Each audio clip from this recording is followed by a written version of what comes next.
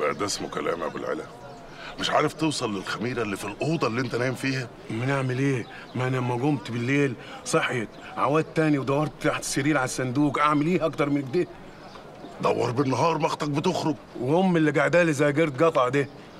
آه أنا في ظني يا حسب الله إن سكينة دي هتاخد الفلوس معاها وهي خارجة. طب وبعدين يا أبو العلا؟ ده إحنا بقينا على الحديدة. والله يا أخوي لو مستعجل وقوم انت بالشغلانة دي؟ اني لا يا حبيبي. ده أنا لو دخلت أوضة أختك من غير ما أخد أي حاجة برضه هتتهمني. ده ما بطيش تشوف خلقتي.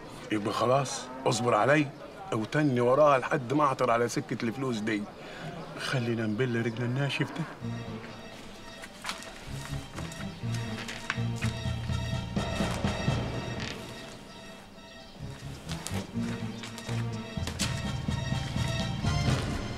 أمك كانت فين؟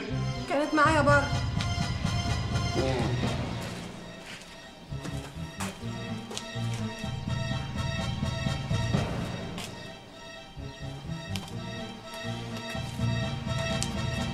ومحدش من الجيران حس بيه؟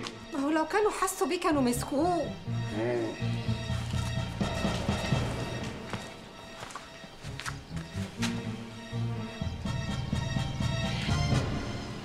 جنة منين ولد المحروق ده؟ جوز أختك لا يا شيخة ما تكونيش كده ليه يا أخويا ما هو حرامي وسرق قبل كده. يقوم يسرقك أنت يا سكينة؟ ده أنت خيرك عليهم كلهم. يا ريته كان تمر بكرة تشوف وتقول سكينة قالت. يو يا بنت أنا مش لقيت لك شغلانة لغاية ما جوزك يرجع من السفر. يرجع؟ هيرجع مش هيلاقي حاجة يلبسها. يعني إيه؟ مش فاهم. مش في حرامي جه وقلشنا سرق هدومي وهدومه وسرق الفلوس اللي كنت شايلاهم. طب اسمعي بقى. امبارح جوز أختك واخوك يا ابو العيلة كانوا هنا ودبوا خناقة مع بعض. ابو العيلة وحسب الله اتخانقوا؟ ليه؟ باين لي كده كان في حساب بينهم. باعوا حاجة بجنيه ونص. وباين لي كمان إن حسب الله خنصر من أخوك. يبقى هم ما فيش غيرهم. قالوا أبو العيلة قعد يستغرب ويسألني هي أمك كانت فين. وهو كان عارف إن أنا وأمه خرجنا مع بعض. أني رخرة قلت ان هما بيتاجروا في الهدوم القديمة. يتاجروا؟ وهم حالتهم اللضى داني حطيين عيشتهم الحرامية ولاد الكلب دول. أني عارفة إيه اللي جابهم وراكي.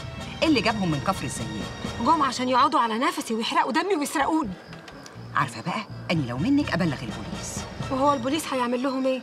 ما خلاص باعوا الهدوم. محدش هيقدر يمسك عليهم حاجة.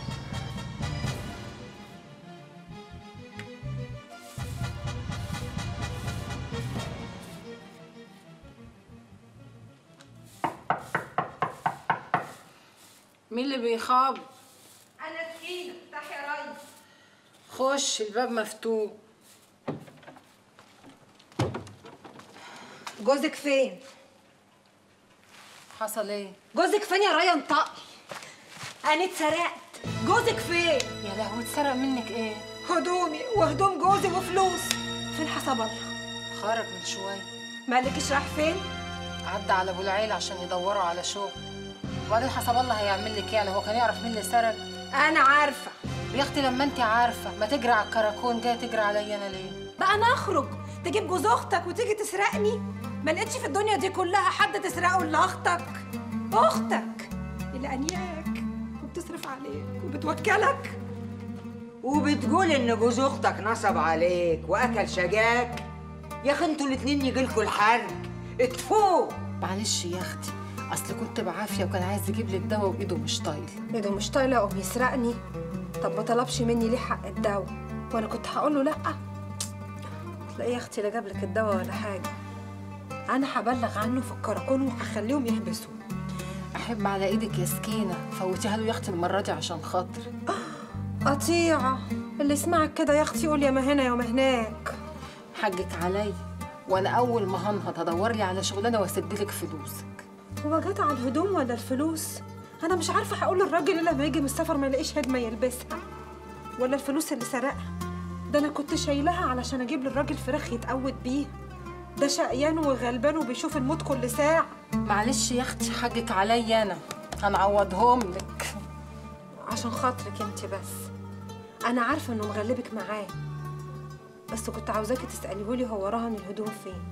عشان أروح أفك الرهنية. لو انت معاكي فلوس تفك الرهنية. يا أختي خمسة وخمسة في عين العدو. طب وانت عرفك انه رهن؟ الحرامي التاني اللي كان معاه. لا ابو العيله رخر سرقك. قال إيه؟ الميعاد فات خلاص. وما جاش حد يسد الرهنية. فالهدوم بقت بتاعته. إنما انت شفتيها عنده. ابدا. بيقولوا إنه باعهم. والله يا مريم ده الهدوم بشوكهم. وهدوم أحمد ما لحقش يلبسهم. معلش عوضك على الله بقى. مش عارفة أعمل إيه. الراجل هيرجع مش هيلاقي حاجة يغير فيها.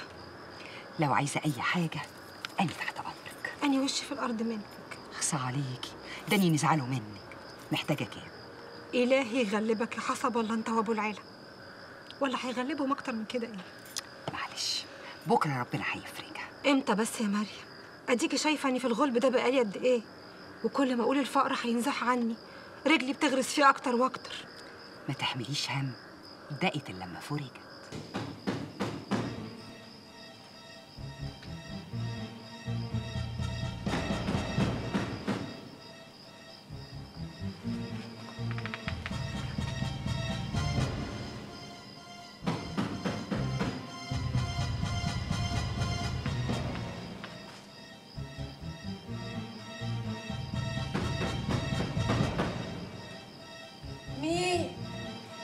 يا سيدي مين اللي بيخبط أنا أحمد جوزي.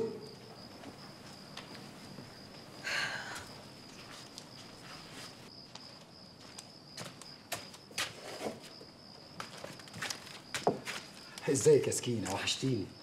الحمد لله على السلامه إيه اللي جابك متأخر كده؟ ده يا دوب الساعة لسه ما بقتش عشرة. مين الراجل ده يا سكينة؟ والعيله اخويا معاك حق. ما أنت ما شفتوش قبل كده.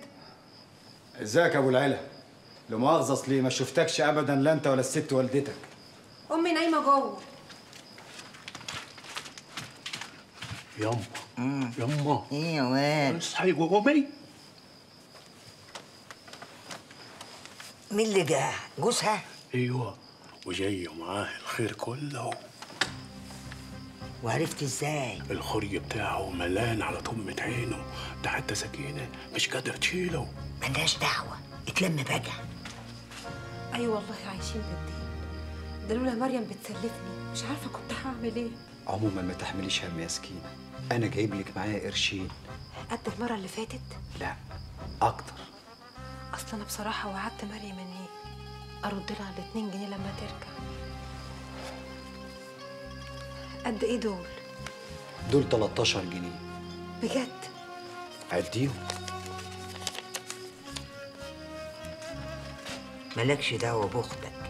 كفاية العملة السودا اللي انت عملتيه. ده انت حتى ما افتكرتش أمك بقرشين كنت جفلت حنكي. حقك عليا حقك عليا يا يما بس أنا عملت ده غصب عني ما كنتش لاقي الوضع تقوم تسرق أختك. الحرامي الشاطر. ما يسرقش من حارته يا خايب. طب طب ابقي صالحيني عليها عشان ينوبني حاجة من اللي يوزر جايبها معاه أني لو منها ما كنتش أبص في خلقتك تاني. ده أنت تحمد ربنا وتبوس إيدك وش وضهر. إنها لسه أنيانة وبتوكلنا دي بتستلف علشان تصرف علينا. بقول لك إيه يا أحمد؟ أوعى تجيب سيرة الفلوس دي قدام ابو العيلة. ولا أي حد. هو أخوك ده بيشتغل إيه؟ ولا بيشتغل ولا نيلة. ده صايع وخد على الصياعه وكان عايش على قفا أمي ودلوقتي عايش على قفايا. ما هو ما دام بتصرفي عليه مش هيشتغل. طب أعمل إيه بس؟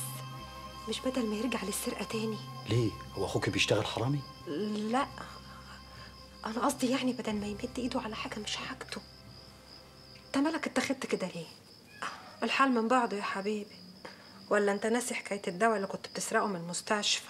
خلاص يا سكينة أنا تبت خلاص. وبعدين أنت ناسي العهد اللي بيني وبينك. إحنا اتفقنا يا بنت الناس على حاجة. لا أنا مد إيدي على حاجة مش بتاعتي ولا أنت تشتغلي ولا تقربي من أي حاجة حرام. أهو ربنا هو يشهد.